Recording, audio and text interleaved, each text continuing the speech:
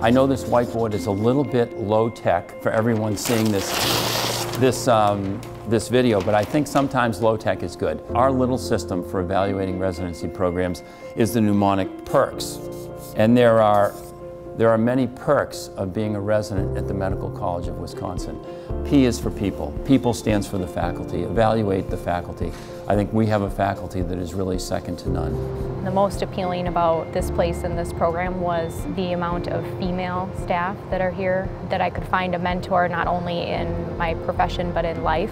The educational experience and the, the culture of education is very strong here. We pride ourselves over decades of having a defined system for training great surgeons. I would say a number of residents have some sort of personal experience from their past that really inspired them to pursue it. When I was 18, after I graduated high school, I moved to New York City. I was a professional dancer. Continued on that road as long as I could. When you enter into the dance world, you know that any moment it could be over. I had an injury which ended that career. That was such a life-changing moment for me that if I could make that difference in somebody's life, that would make up for all of the hard work. Is there a research opportunity? Our Division of Research is charged with making sure that all of our residents who have an interest and a passion for an academic career, that that is facilitated and their dreams come true. Coming from an immigrant family, they didn't know anyone. They built a life here, and the expectation is that you take them one step further.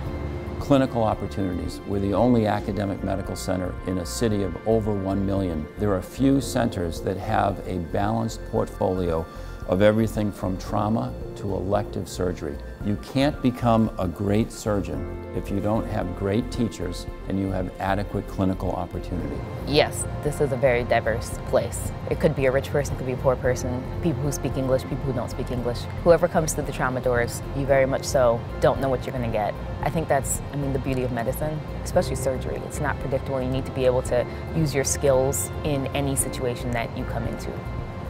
I think this is one of the best surgery residencies in the country. There really are no deficits in our program. We give a resident a lot of flexibility when they get here. Our faculty here are extremely well connected. We've had incredibly great success in getting our residents into great jobs or great fellowships. And then lastly, do you have synergy when you visit the Medical College of Wisconsin?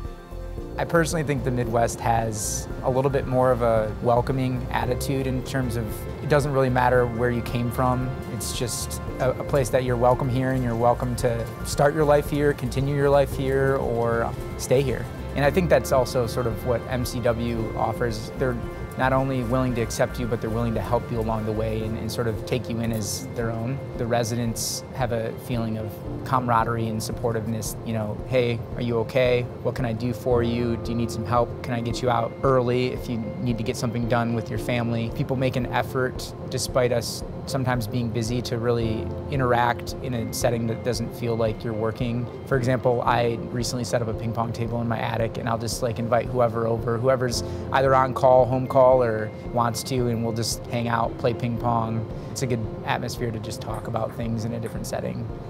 We all need that, especially when you're moving and starting sort of a new stage in your life. Perks. Thank you for looking at our program, and we're thrilled that you're interested in the Medical College of Wisconsin.